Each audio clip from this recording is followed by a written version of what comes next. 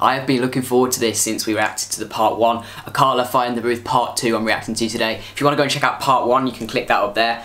Um, but yeah, part one was amazing. That was like so deep, like perfect message, spot on and everything he said. It was just facts the whole way through. This one is a lot longer. This is 14 minutes, so this is probably going to be quite a long video, but I'm looking forward to it and yeah, hopefully it's just as good as the first one. Let's go. Oh yeah, perfect. Hey, Carter, brother, you know what time it is when you hear this, right? Uh, let's get ready to rumble. Yo, Akala. Wow. Knowledge is power. Volume 1, mixtape 28 for May. Listen, AkalaMusic.com. Chase. Tiny bit more vocal, please, actually. Listen, knowledge is power, always. Knowledge is power. That's the message he's spreading, and I, I, I, rate that. He seems like he's. I've been watching more of him, and he's done like loads of interviews. He did a fucking an address at the Oxford Union and stuff like that. So this guy is he's clued up on stuff, and you can tell that from his first one. But he's he's not just a rapper. He's like, yeah, he's he's like a public speaker basically. He he knows his stuff as well. Listen. The scam, brother, the scam! Oi, mate, my personal life's great. Some of you would love me more if I rub that in your face. Okay, well, let us run down the resume and have a little chat about how Akala's living today. Big whip, nice yard, been all over the globe. Look how many continents that I have done. Shows. That was mad though. The first line that comes in, that's true. He was like, "You probably love me more if I rubbed all my like my success in your face." And I, I like rappers that aren't like because it's the typical rapper thing to do to go and like flex and be like the big man.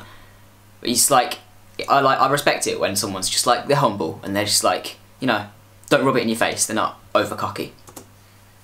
Couple little companies, neat little office, everything going swell. Little bit of profit, built a business educating kids from the block. So far as I'm concerned, you gotta be a monk to not rate him. Own my own masters, still my own master. You have gotta be a monk to not rate this guy. Built a business educating kids from the blocks. This guy's, he's a legend. Novels and strips on the way. Rap is just a part of the genius in his head, and he knows it. Dickhead, since I used to kick ball for West Ham with my big head. Back in school days where. Akala kicked ball for West Ham. Wow. I, I mean, I wouldn't have expected that to be honest, but Akala's a baller as well. Jeez. Been hang me downs from my sister, and gal was still onto man. Now that's some Ross charisma. It's just a nipper. I took my first pull of Rizla. And who you think gave me that? Yeah, my bigger sister. So when we speak of struggle, cousin, it's yours. You know the same old madness. Working class poor, yeah. So may have won a couple awards. I guarantee you that my family just as messed up as yours. All the abuse and the alcoholism and drug addiction. Uncles going to prison. This is. That's a big point. People often think, oh, he's he's won awards, he's rich, he's probably fine.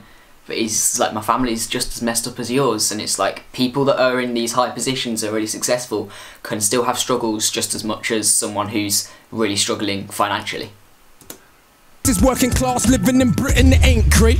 You gotta be kidding. So please don't ever get confused by me spitting cause yes I said the ghetto's in our head but no I didn't mean if you live next to a food yard let us in your dreams. I meant believing in the madness they spout about us. Is far more dangerous than putting us in council houses. So yeah I criticize but from a place of love never ever. Cause I think that I've become above every young brother you wanna judge as a tug. Is me man it's a little guidance and love so I think that you're the mug. And why be smug when it's an actual fact we all commit crime simply by paying tax. Cause we didn't go and tickle them people in Iraq and ask them so politely. We all commit crime just by paying tax. I mean, is he right? Is he right?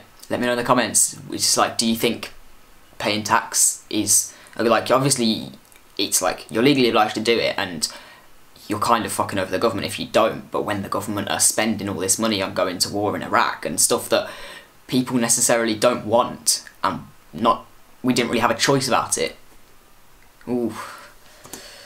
For all the minerals we extract, we blew children's heads off, set fire to backs. With a gangster nation, get down and you get clapped. So when you see the youth they running around on the road with heaters, don't be surprised. They're just copying their leaders. Long as the wars stay in places that are you can't expect people, the like the citizens and civilians, to be perfect if the leaders aren't, and they're just copying their leaders. Down and poor, we can all pretend to be abhorred, but we applaud.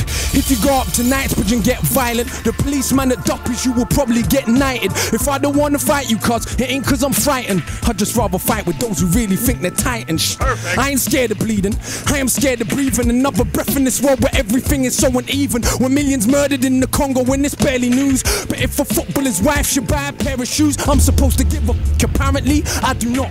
The world's a reflection of your block, and if you think of News does not report on the right stuff. Fucking the Sun and the Daily Mail and all of those shit newspapers reporting on like footballers' wives. As he said, I didn't know about that. I didn't know about people getting killed in Congo, but because it wasn't reported on. But uh, fuck the Sun as well. Big fuck the Sun. World that profit from their death and be totally cool. Thinks you're better cause you live here? You're a bloody fool.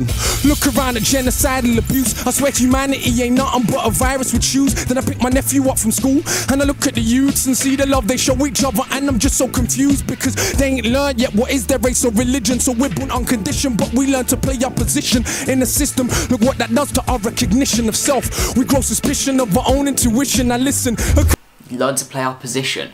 It's like I, I've been doing psychology A level, and yeah, basically humans are basically tuned in to fit the role that they're given. If they're given a role, then they just do it. There was an experiment done where it's like um, people, random people were picked and given a role of a prisoner or a guard in like a fake prison, um, and instantly the guards all went aggressive and started being really like controlling, and all the prisoners started behaving badly. And it's just like we have something hardwired in our brain that just makes us, whatever position we're given, we'll just do what that is expected. Call sick way raps about racism too much. Could you imagine I gave a flying? Cause it's amazing how many wanna claim they love this music with no respect for the actual struggle that produced it. Did hip hop not start in segregated hoods? Are them hoods not still segregated? So it's really good. Are the First Nation not still on reservations where the age of 46 is the average life expectation? And fellas, I wonder where the favelas have been suddenly. Age of 46 is the average life expectation. Out. And he was talking about how it's like I kind of I, I, I really get that. It's like hip hop has become probably the biggest genre in America and rap is probably one of the biggest genres, if not the biggest in the UK. Whereas but like but the people who created it and the hoods are still just right right at the bottom, even though the thing that their culture created is right at the top. And it, yeah, it doesn't make sense. Knocked down and replaced life expectation. And fellas. I wonder where the favelas have been suddenly knocked down. And replaced with something better.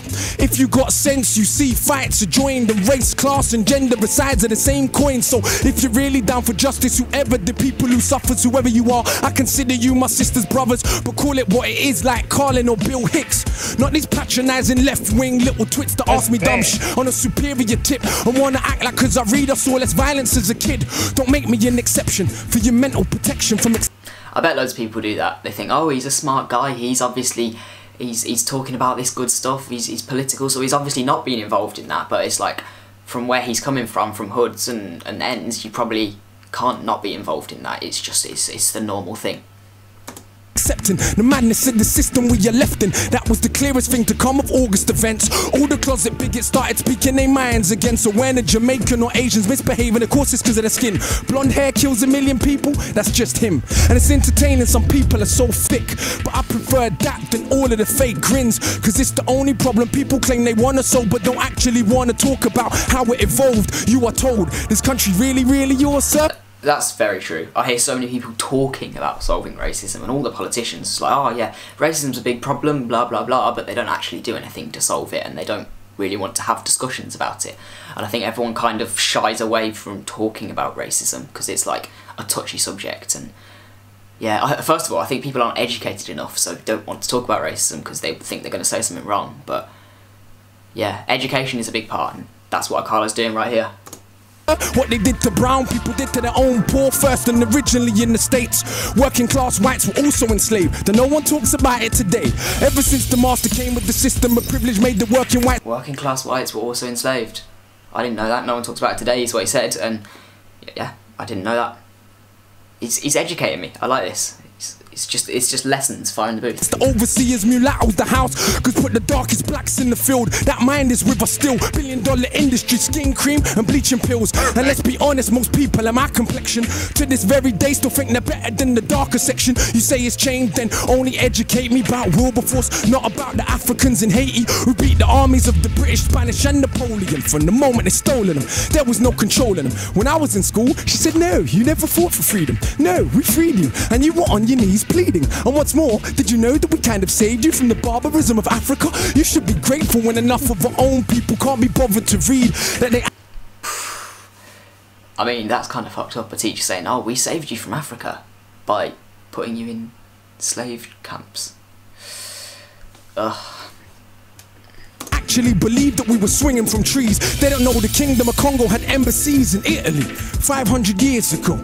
Literally ain't heard of St. Maurice nor Septimus Severus. Ain't Uh, this is a thing that everyone in this country and probably America is guilty of, unless you do your research. Is we don't get educated about Africa at all. Like I don't know the history of Africa, and I think when most people think, "Oh, it's Africa," it must just be like it's just the the huts, mud huts, and tribes, and that that's it's been like that forever. But obviously, it hasn't. And you know, I've I heard Dave talk about this in um, his song Black. It's like we had kings and queens, and they had societies and stuff like that. They actually had systems set up, and they had embassies in Italy. It's like I did not know this. It's not what happened. It's not what comes up into your mind when you think of Africa, and that's just because we haven't been educated about it, and also probably because there's, probably an agenda towards Africa, and you know, it's it's like oh, it's Africa. We don't care about them. We'll just we'll leave them, we don't we don't talk about that. Hmm. Studying the past because they think it's irrelevant. And attempt to pretending ancient Egyptians weren't African. Nothing more than pseudo intellectual lies. They Ancient Egyptians weren't African. There we go. I mean, Egypt's African, and they had probably the most advanced society at that time. Well, unless it was aliens, you know, you never know. Um, yeah, no, they had the, like they had the most advanced society at that time, but they're not talked about as African. We don't consider Egypt Africa when we think of ancient Egyptians, but it was African. Obviously ain't read what Aristotle and Herodotus said about people that they saw for their own eyes. And Egypt's been invaded since the fall of the pharaohs. Not once, not twice, but many, many times. So nobody wants to explain why so many statues are missing noses. Even when them statues made of granite, it ain't one people alone. Mistaught about themselves, we live on Celtic land. But don't learn about the Celts, the same Irish people you characterize as stupid during the dark ages. Some of the most educated living in Europe. And did you learn the numbers you count with every day was invented by Indian people? I bet you didn't. Or how many million I didn't know that. I didn't know that. This is this is a lesson. He's just teaching me stuff. He's teaching me stuff. The num so numbers were invented by Indians. I so I would never have known that unless I listened to Akala's Fire in the Booth. What a guy. Indians fought for Britain in both world wars. Still, you got the cheek to call them immigrants. We don't learn about the Moors, of course. For some, that knowledge Indians fought. Those- We had so many people fighting for us in both our wars, like all in the British camp in the wars. Indians fought for us. They were on our side. They played a massive part in the war, but we still treat them as like outsiders to our country. And so many people say, "Ah, it's our country. They don't belong here." Even the prime minister says that they should stop. This is a quote from Boris Johnson. They should stop treating England as their own country.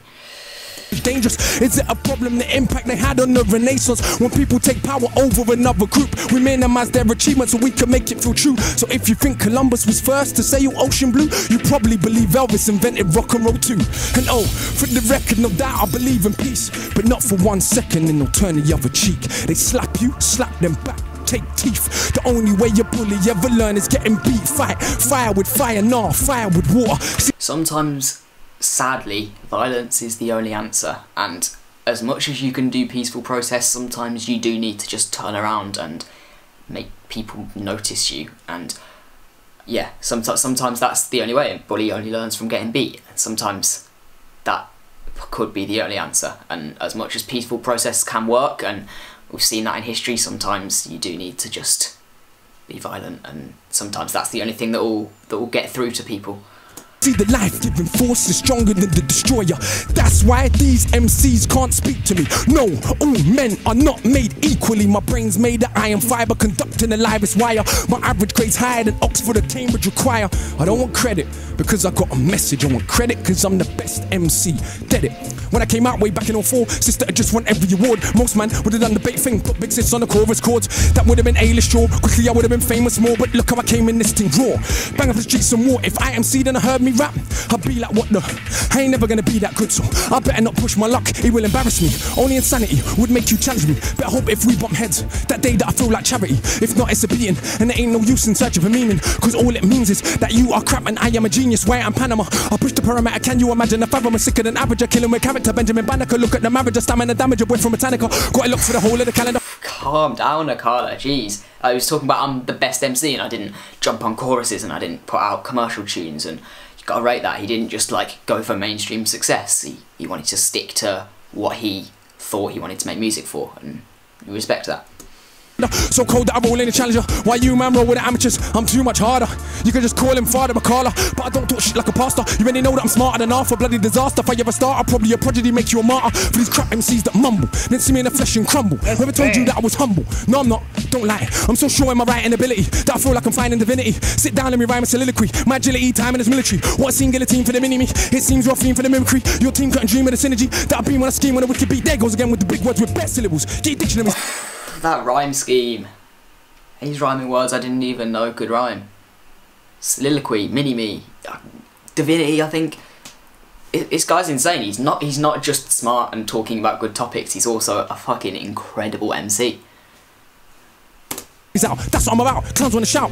Flash them, smash them in the mouth. Bloody professor, a man of the letters I read and I read and I'm sure that I'm better. Never regret an endeavour to dead an oppressor. I think that the lepers that think that their pleasures are better endeavours than all of our pressures. But see me, born in a rage, maroon blood coursing my veins. As you can see, I was born for the stage, but I'll never be their cultural maid. Some say that we're political, is what they're doing isn't. Don't they preach a political doctrine called materialism? But for all the Italian clothes that you wear, or German cars that you drive, or French champagne that we buy, will still be monkeys in their eyes. So why you were begging it? Who knows? Italians fight to wear Jamaican clothes. Italians call their own women for everyone's entertainment, bro.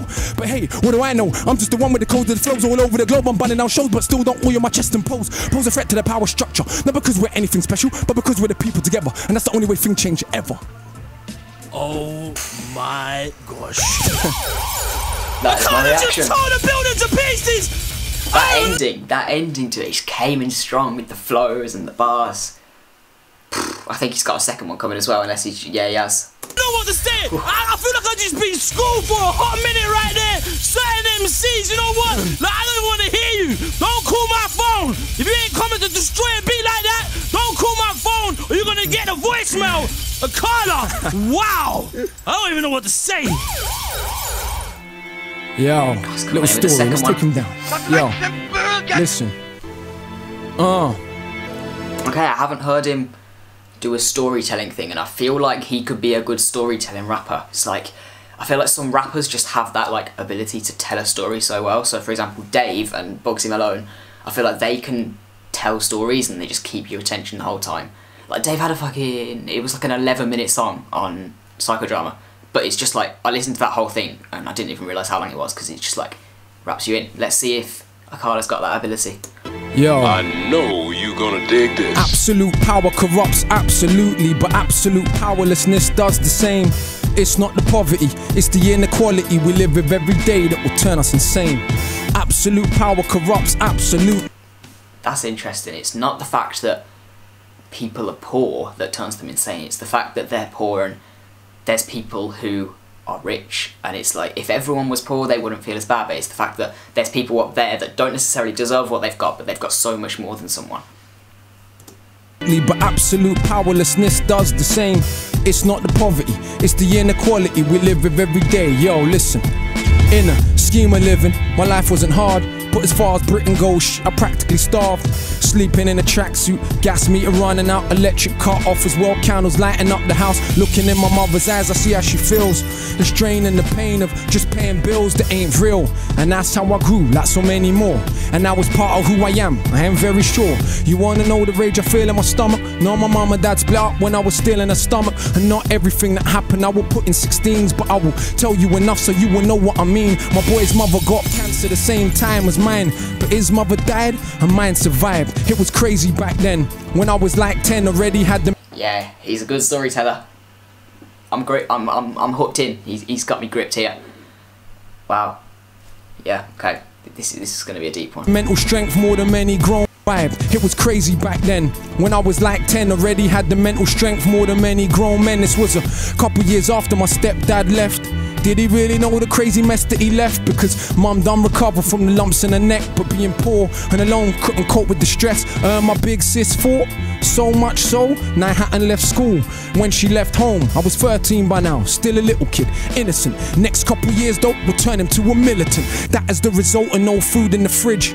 And every other day you're getting searched by the pigs, plus these patronizing teachers. Though my grade sick, trying to emasculate me, yeah, turn me to a Anna. Don't mean a woman, please let me be clear. I mean a spineless man, because what do they fear? More than a working class brown male with a brain. When our energy is harnessed, everything changed. Look at Pac, look at Marley, look at Hendrix, look at Garvey. This is the potential that is wasted on a daily basis. A racist, classist world that we're living. Still, we coming for nothing and we educate millions. I see why it scares you. It's like, how dare you overcome obstacles that we have been careful to place in your way every step of the way. In this so called democracy where kids get sprayed, blacks and the Asians, Turks and the Chavs, crowded in council flats, living like ants. And who's more confused than so called white trash? Talking this madness about they want their country back. It never was yours. You should read more. What they did to brown people, they did to their own poor, but people's memory short. So much that I'm seeing black and Asian kids cuss Eastern Europeans. No pot to piss in makes competition. I fail to see how this is an effective system when cats and dogs in America and Britain eat better food than most of humanity, and we spend our technology only on. Think about that. Those people that feed, it's like, I feed my dog food. It's like I probably feed my dog food better food than like, or I feed my dog more food. They're getting fed better than lots of people in the world. That's a deep one. It's like it puts into perspective the sort of like not necessarily wastefulness because you're still feeding your dog, but the fact a dog can get fed better than a human somewhere in the world is is madness. Especially when the dog doesn't really need to be fed by humans; they kind of like naturally go and get their own food in the wild. Oof. Akala just comes in and makes you deep your whole life. Oof. on killing. How is this more than sophisticated savagery? It was once said, the world is a stage, each person just an actor with a part to play, like the middle class kids and kids of the rich that have everything, but yet still they pissed on they coke and ketamine, strung out on. I ain't generalizing. Look at the evidence, so go to Glastonbury any year, you will see. But unlike Carnival, it won't be crawling with police. This is London. The kids on the very next street That's so true. That's so true. Glastonbury and all the big festivals where everyone is just like everyone knows they're doing drugs, but think about the police at Carnival. Like the police at Carnival are mad, and it's like, why is there not that numbers at Glastonbury or Reading? It's like, is it? It could because they're white. It's like could be just subconscious stuff in the back of people's head that makes them think, oh, well, we don't need to stop them because they're white, but we need to stop these people because they're the problem. They're the black people. It's like yeah, that that's something I've never thought about before. I can't just he's bringing stuff to my attention that I didn't realise. had a very different life experience from me. And in my experience, they can't help but be smug. After a lifetime of what they think's just good luck, but they're still more anxious and more thankless. Unearned privilege weighs like an anchor. That's why they copy what we do, trying to be what they not. They will grow up though and get better jobs and maintain a system that they claim that they hated. They can't fight against, they got a stake in this matrix. Hip hop is just a fad to them. You didn't know? But for us, this is our living, breathing soul. And yeah, I um, am a middle class white quid, so I feel like I can relate to what he's saying. It's like he's speaking to me, and I'll, I'll wait. I want to rewind that because I want to catch all of that. They can't help but be smug.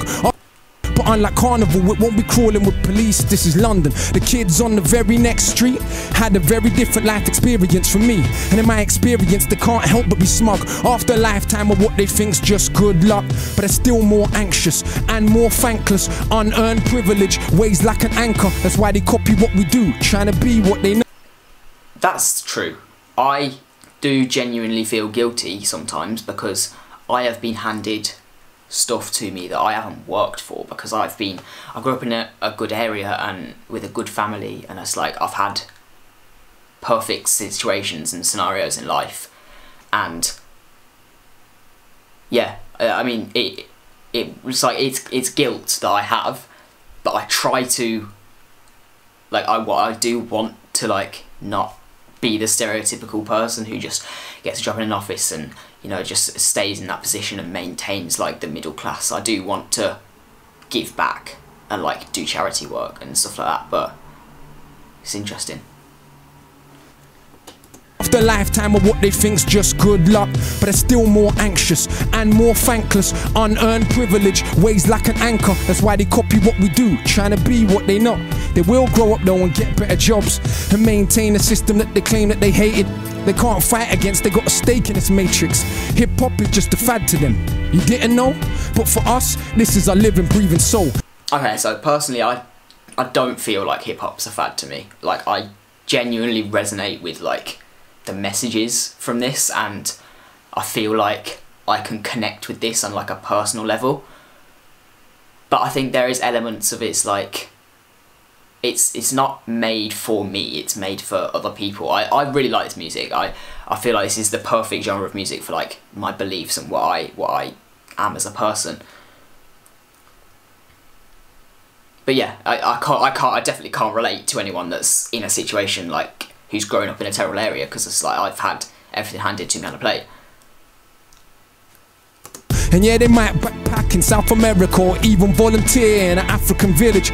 But all said and done, when push comes to shove and sh- hits the fan of middle class and British, and I ain't even dissing. That's just how it is. Most rich brown people are just as full of shit. So much more concerned with our cars and jewels than most of the world's poor looks just like you. So much. That's interesting. So it's like he was talking about people doing it's like middle class people end up like obviously generally do like lots of charity work, especially if they're left wing, and it's like then he said when it come when push comes to shove, they still pick themselves because it's like they're maintaining the system, and it's like that's the way it happens. I'm just going to turn my camera down a bit. There, um, yeah, that's like human self-preservation that's in your mind, and that's that's one of the worst traits of humans. I think is like the self-preservation that we have embedded in us. That it's like always wanting to save ourselves instead of someone else, and save ourselves instead of like several people. We always have that selfishness that's embedded in our brain, and if you can combat that, then you're you're winning. I think. much more concerned with being privileged few. And who knows, maybe me too, because absolute power corrupts absolutely, but absolute powerlessness does the same. It's not the poverty, it's the inequality we live with every day that will turn us insane. absolute power corrupts, but absolute poverty also corrupts. That's interesting. So it's like well, everyone's probably corrupt in some way because your your situation, most situations are gonna corrupt you in some way. Whether whether you've got power or no power, both will corrupt you just in in different ways, or maybe not so different. Absolute power corrupts absolutely, but absolute powerlessness does the same. It's not the poverty, it's the inequality we live with every day that will turn us insane.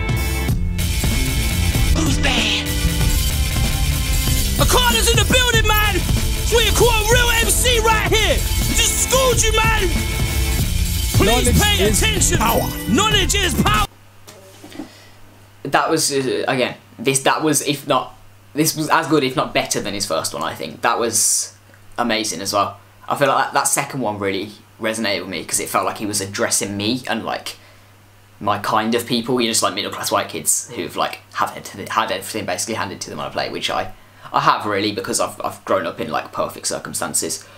I, I like to think that i'm aware of this though and i feel like lots of people aren't aware of it and lots of like people in my situation aren't aware of it but i like to feel that i'm aware of this and that i won't I, I will try to be aware of this and not let that like slip out my brain and always give back and try and try and prevent myself from having an unfair advantage you know what i mean it's like it's a, it's a complicated one yeah, let me know what you thought of this Fire in the Booth, and yeah, I'd appreciate if you liked the video, if you enjoyed it. Subscribe if you want to see more videos. I will be doing Akala's Fire in the Booth Part 3 and Part 4 as well. I've heard Part 4 is very good, but we're going to do Part three first just because it makes sense. And then if you do subscribe, I'd appreciate you clicking the notification button, which is the little bell by the button, and that means you'll get notified whenever I upload a video. And yeah, basically that's it. I'll see you in the next video.